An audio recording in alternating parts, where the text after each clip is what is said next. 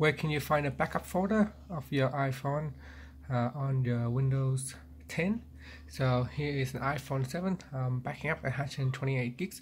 So it can uh, easily uh, fill up your drive C. So if you need to uh, uh, find where the file is and if you want to move it somewhere else I'm going to show you where it is located.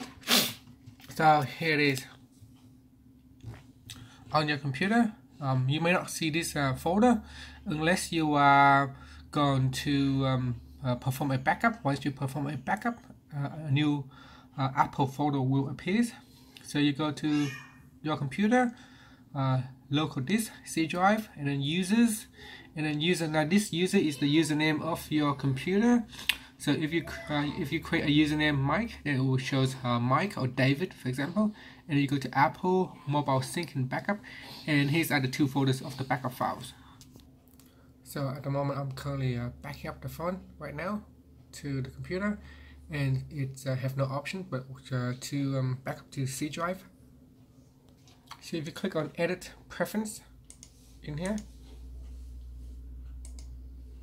edit, now click on edit and then down click on preferences. Now if you click on uh, devices tab at the top, and then uh, once your backup is finished it should uh, display down here in the device backup list. And that's it. That's how you can back up your phone. Thank you for watching this video. Uh, please subscribe to my channel for more videos. So again it's in this PC local disk user user is the username of your computer. So it'll be different on your computer. And an Apple mobile sync backup